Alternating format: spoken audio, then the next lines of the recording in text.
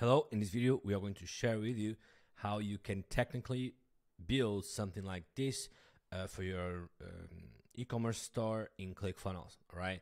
Now have in mind that design is completely up to you. You can change this according to your brands and needs and looks, all right? So the first thing we're gonna do is we are gonna go to a blank page and we are going to create um, a section. Then we are gonna select three rows now, in these three rows, we are going to know exactly what we are going to do. Now, have in mind that you want to have a few uh, elements um, in terms of image elements. The first one is going to be the product, all the products. Then it's going to be this picture here as well that you need to build, um, that you need to build accordingly, right? Now, the last picture is going to be these ones, okay? And this all this stuff is pretty simple. You can find them online or create yourself uh, so that you um, may use them. Now, next thing to the equation is we are going to add the elements. The first one is going to be basic. The second one is going to be a 30 day subheadline, 30 day supply. Bold. The second, the the this the third one is going to be this one, and then we're going to add another picture, and then we're going to add, um, let me see, another thing like this, so we can add um, you you save money. Then we're going to add a button here.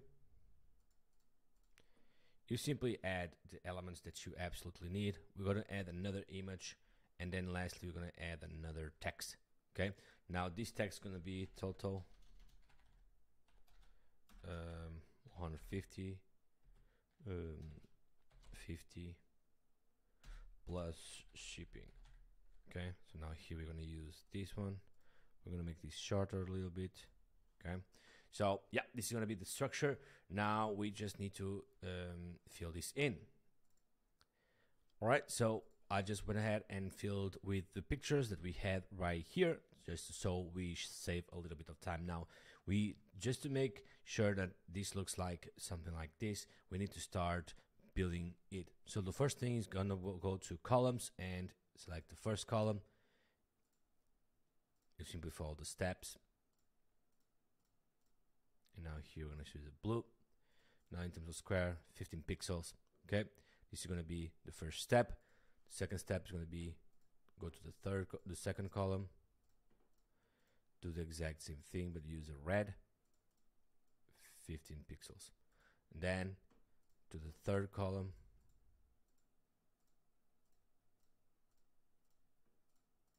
you do the exact same thing.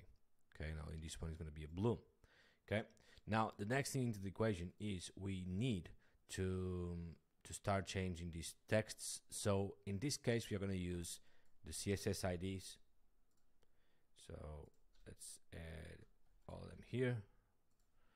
Uh, we need to target them as H1s.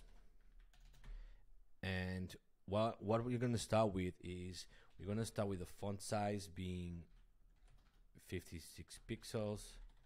And we do need the, the, the important command here. Background blue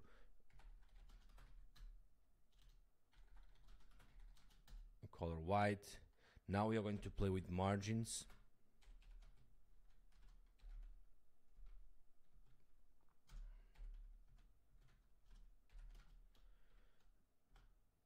Yeah, we don't need important. Now we're going to play with borders. And you can simply follow along as you see here.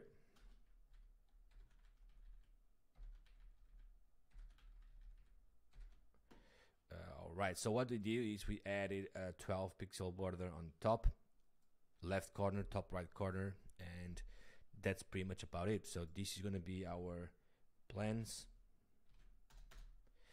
Um, because after that we're going to need the shipping information right there okay so what we're going to do is exact same thing now here we can do like a we can do a different thing so we can share something like this. But anyway, now in terms of the button, we need to make it fill width and we need to make it yellow and text black.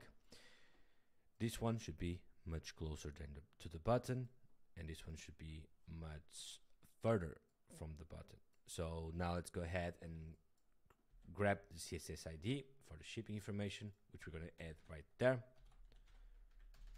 and for the shipping information we are going to do something similar. Okay? So let's start with the background color blue. Now color white. Let's go ahead and do uh, the margins.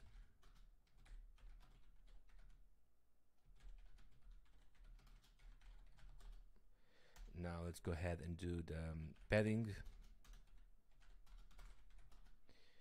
Um, 10 pixels padding. 0 pixels 10 pixels 0 pixels. Oh this is padding top. Okay so padding top is just that. Now padding bottom 10 pixels as well. And the only thing we need to add is the border radius. So in this case the border radius is going to be 0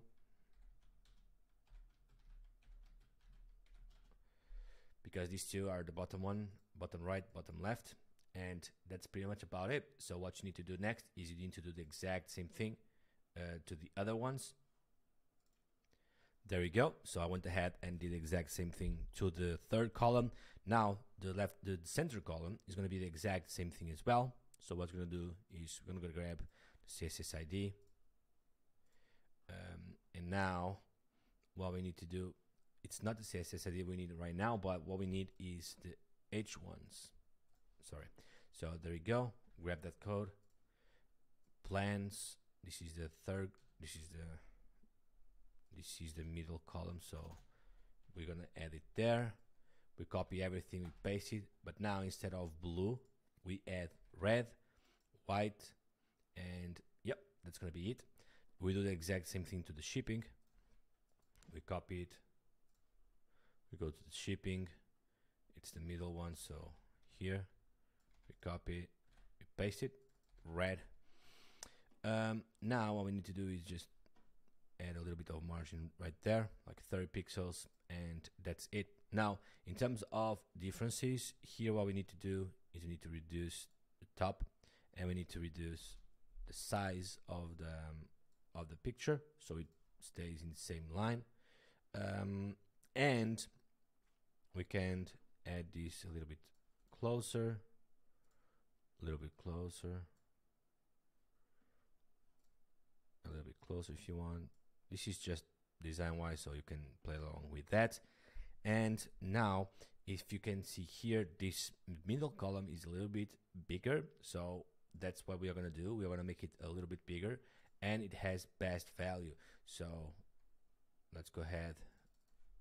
Best value let's make this a little bit closer to that. Instead of auto let's edit uh, 0.7 EMs make this top margin a little bit like that. Okay cool. So now we need to go to the second column and copy the CSS ID right here. And now we are gonna do the middle column we are going to um, we are going to simply transform it. So we are going to use the transform scale. And we need to play with the um, the values. So here you have 1.1 1 can be 1.5 so maybe 1.8 9 something like that. Um, and we kind of want to do a top minus 40 pixels maybe. Maybe it's too big so 30 pixels. Um, so it's a little bit bigger. And yeah now here you might want to add the top padding right there so it fits in the same section. But it's pretty much about it. Now in terms of design you can make it look way better. Just change the color just change the way that and then you just change the plans as well so premium um, popular now the other things is you, you, can change this entirely to make it look better or something like that so yeah but that's the but that's pretty much about it. You need to craft this as an image. Okay. You need to have these other two images as well, three images, and these badges. Now this one can go a little bit closer. There you go. Um, one thing that I would do is make sure that the bottom line, you know, like this thing is exact the same as this one. So we need to adjust this one by removing a little bit of space here. So that's something that you can do as well, just to refine it a little bit, something like this. Um, and there's probably something else, which is this image we would need to make it like that. There you go. So yeah, that's pretty much step by step. If you are interested to learn more about how to design or how to use CSS in your advantage in ClickFunnels, I have the perfect products for that. Send me a message or check the links in the description. And yeah, just that's pretty much about it. If you have any other um, requests for um, tutorials, let me know and I'll be crafting them. Have a wonderful day.